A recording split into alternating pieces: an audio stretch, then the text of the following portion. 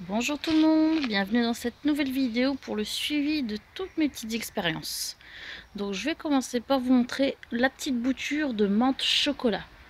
Donc je l'avais euh, récupérée en fait. Au départ je l'avais mis dans l'eau, après je l'ai remis en pleine terre suite à un commentaire. Et ça a bien fonctionné. Comme vous voyez, elle a super bien grandi. Je décale comme ça, je vous mets sur la droite en bas la photo d'il y a un mois, parce que ça fait un mois que j'ai pas fait euh, le suivi des petites expériences. Comme ça, on peut comparer. Donc ça, c'est la menthe chocolat. Donc là, je l'ai planté euh, ce matin dans la terre. Voilà, voilà. Ensuite, on avait le gingembre. Donc bah voilà, hein, il a super bien poussé. Donc au départ, j'ai cette petite pousse là qui avait grandi et elle a stagné. Et ensuite, il y a celle-là qui est sortie de terre, mais celle-là, elle pousse super bien. Hein, comme vous voyez, elle fait bien des feuilles. Par contre, j'ai remarqué il n'y a pas longtemps que là, il y a deux petites bosses qui se forment sur le dessus. Donc peut-être qu'elle va me faire euh, deux tiges à partir de celle-là.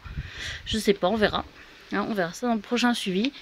Mais voilà, le gingembre, euh, il a bien poussé. Donc pareil, je vous mets sur le côté à droite, il y a un mois. Donc euh, on voit bien, hein, il a bien pris. Je suis bien contente. Donc je le mets jamais au soleil, hein, toujours à l'ombre. Mais quand il fait bien chaud, je le mets dehors. Comme ça, il profite de la chaleur. Alors, les petits pépins. On avait les deux pépins de kumquat.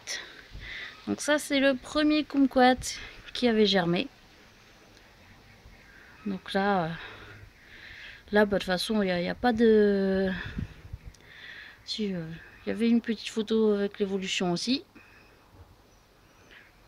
donc il a bien bien grandi aussi lui. Hein. Il continue, hein, on voit bien, il y a, une, une, petite feuille qui arrive au milieu si j'arrive à centrer. Voilà, on voit bien, il y a une petite pointe. Ça c'est la suite des feuilles qui vont arriver. Et j'avais le deuxième qui avait germé aussi. Voilà. Donc lui c'est pareil, il grandit bien. Donc ça c'est les deux pépins de kumquat que j'avais fait.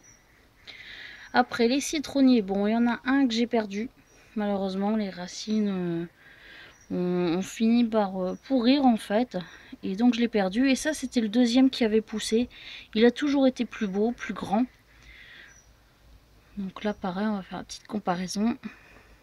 Il est, vraiment joli. Hein. Donc j'espère que lui il va tenir parce que du coup c'est le dernier citronnier qui me reste. Je trouve super joli. Et il grandit très très bien. Il continue ses feuilles. Alors par contre j'avais aussi récupéré de la lavande. J'ai fait des petites boutures là. Mais ça je suis pas sûre que ça va fonctionner parce que a priori c'est pas le moment. J'en ai fait trois. Et déjà celle-là est déjà en train de, mourir. Donc euh, à voir avec les deux autres si ça fonctionne ou pas. On verra bien.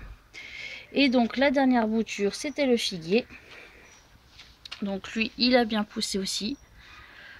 par contre, pour le moment, j'ai vérifié il y, a, il y a une semaine, une semaine et demie, il n'y avait pas encore de racines.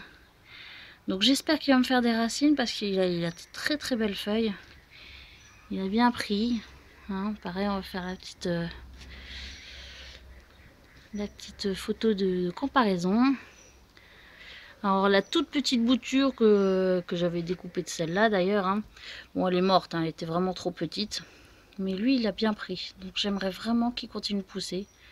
J'espère qu'il fera des racines. Voilà, voilà pour le suivi des expériences.